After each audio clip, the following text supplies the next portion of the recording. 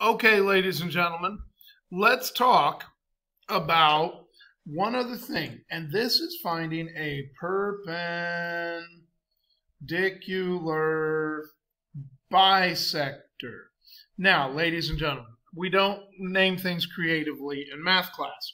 If it's a perpendicular bisector, it's definitely going to be perpendicular. And bisect, well, bisect, bi meaning two, sect meaning sections. So what we're going to do, a bisector takes either a segment and it cuts it in half so that this side would be the same length as this side.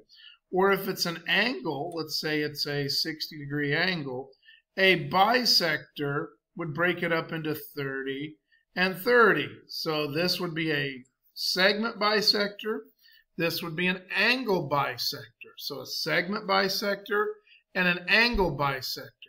Now, if I want a perpendicular bisector, that means it's going to be perpendicular and it's going to cut whatever it is in half. So let's take a look. It says find an equation for the perpendicular bisector of the line segment whose endpoints are this and this. So here we go. We need 8 comma negative 6 and we need negative 2 comma 4. Okay, so we know what we need. We'll put this over here.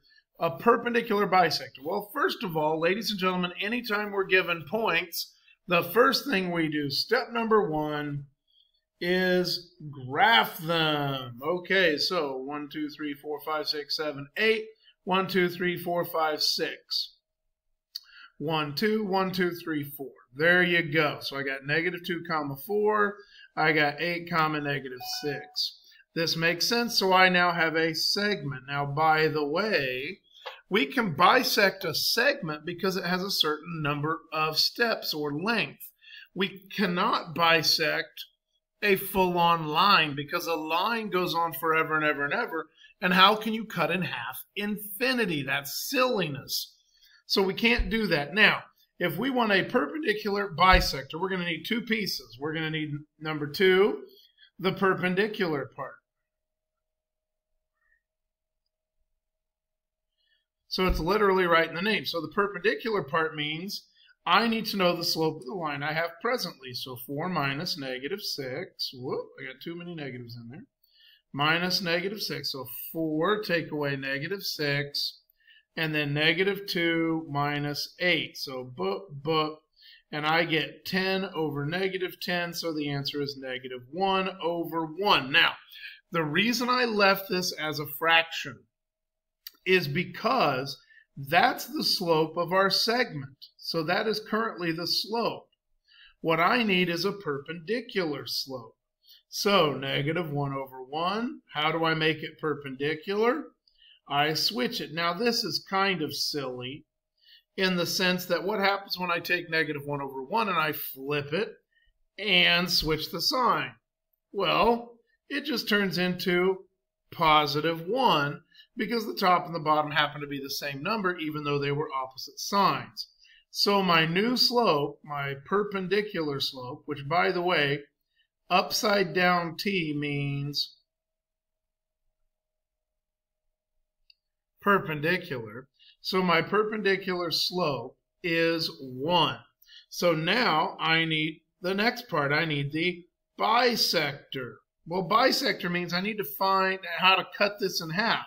What do I know about cutting something in half? Well, I know midpoint. So, with midpoint, I can easily do this. x1 plus x2 all over 2, comma, y1 plus y2 all over 2. Okay, so I got negative 2 plus 8 all over 2, 4 plus negative 6 all over 2, and so that gives me 6 over 2. That gives me negative 2 over 2. That gives me 3 comma negative 1. Now let's see if that makes sense. 1, 2, 3, down 1. Does that look like it's somewhere in the middle? Well, yeah, it kind of does. So that makes sense. So I now have my perpendicular. I now have my bisector. Now all I need is the equation. Well, wait a minute, folks. We already know how to do this. We have a slope. We have a point. And so if I have a slope and a point, well, gee, that sounds like a perfect opportunity for point slope form. Okay, so here we go. y minus negative 1 equals 1 parenthesis x minus 3. y plus 1 equals uh, 1 times x minus 3. There it is. There's a perfectly good point slope form. If you wanted to, could you get y equals mx plus b? Sure. Give the 1 away. That's easy. Then subtract 1, subtract 1. y equals 1x minus 4. And there is the slope y-intercept form of the exact same line. So, folks, we've done this over and over and over and over again.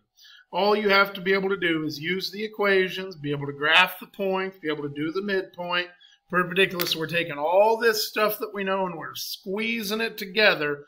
And that's way geometry works. We're building a process here. We're building a process. All right, with that in mind, that is this section.